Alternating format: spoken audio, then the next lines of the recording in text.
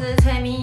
今天呢，要跟大家分享不插电卷发的方法，非常非常的特别。我们今天要利用就是随手可得的橡皮筋跟面纸，就可以完成今天的韩系蓬松大卷发哦。请看今天的分享吧。首先呢，我们先将头发先分区，然后呢，拿出面纸，我们把它折成这样子的大小，然后接着呢，我们就把刚才分区的头发抓出一束。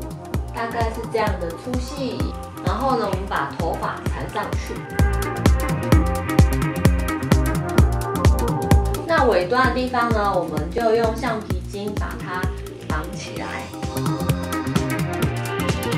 然后这个是第一束，接下来呢，其他的头发都是这样的。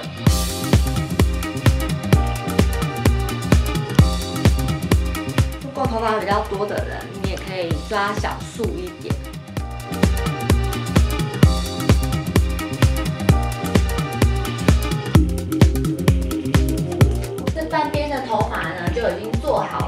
接下来就是刘海的部分。如果今天你是直发也没有关系，因为刘海可以这样做出蓬蓬的效果。那一样利用手边的面纸折成这样子的大小，把我们的刘海拿起来，然后尾端呢一样用橡皮筋把它绑起来。OK，好像一个包子的形状就对喽。那一样呢，我的方向都是向内卷。然后可以看一下我的后面，好像以前的律师，后面有神奇吗？垂性。好，反正就是这样子啊。对，好，然后你们可以看一下每一个每一个的卷。那基本上呢，你就是可以这样去睡觉了。但是呢，如果你想要快速这样出门的话，也 OK，用吹风机来加热它。这个发型呢，它很适合刚洗完头的时候，头发有点点微湿，已经是干的话，你也稍微弄一点点湿就可以了，去卷，然后再加热，它出来的卷度就会非常漂亮哦。那我们现在就用吹风机来稍微加热它吧。好，我们现在就用吹风机来加热面纸把卷。吹风机加热完之后还有点热热的时候，我们千万不要这时候拆，稍微等它一下下冷却。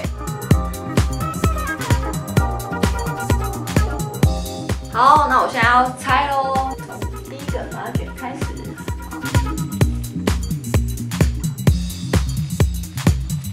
可以先看到一边的头发，它卷出来的卷度呢是非常有光泽，而且是规律的感觉，非常有光泽哦。然后把刘海拆掉，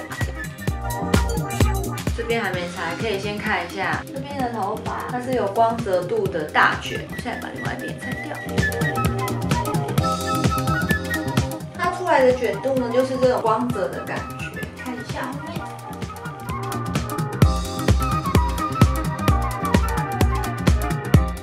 如果呢，想要卷度更持久的话，建议拆掉之后喷一个定型的喷雾，它就比较不会那么容易直掉。如果你剪左边真的没有美法用具的时候，你就可以用这个方法喽。希望大家喜欢今天的分享，记得订阅我的频道，然后比较清楚的文章也会写在匹克邦里面，你们可以看文章。就这样。